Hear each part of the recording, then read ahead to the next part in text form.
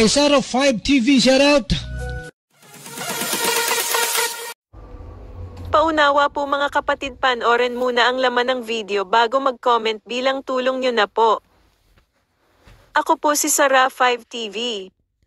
Magandang umaga po mga kalingap mga kaedren mapagpalang araw sa ating lahat. Palagi po kayo mag-iingat kung saan man kayo dakong paparoon. Princess Rina hindi mo siya basta-basta makakausap pag may mga bagay siya ginagawa. Pero pagdating kay Kalingap Edo kahit ano pang ginagawa niya sunod siya pag si Kalingap Edo na ang kaharap niya. Malamang hindi natin alam ang nararamdaman ng isang babae kasi tayo minsan maingat tayo magtago sa ating mga nararamdaman. Pero nakakalungkot lang isipin parang hindi na lagi nakikita ni Rina si Kalingap Edo dahil lagi na ito busy sa kanyang pag-scout. Siguro nami-miss na rin ni Rina ang dating samahan nila ni Edo lagi niya ito nakikita na akbayan at inaasikaso siya. Nakakamiss din ang paglalambing nilang dalawa. Kalingap Edo maraming bagay ginawa na ikakasaya ni Rina. Narito ang video panoorin po wag mag-skips ng ads para makatulong tayo. Magpapasalamat muna ako sa mga tumulong nag-subscribe na nood ng aking reaction maraming salamat po.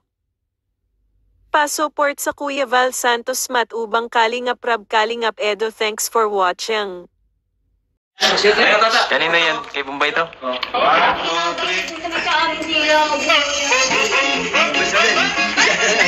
Dito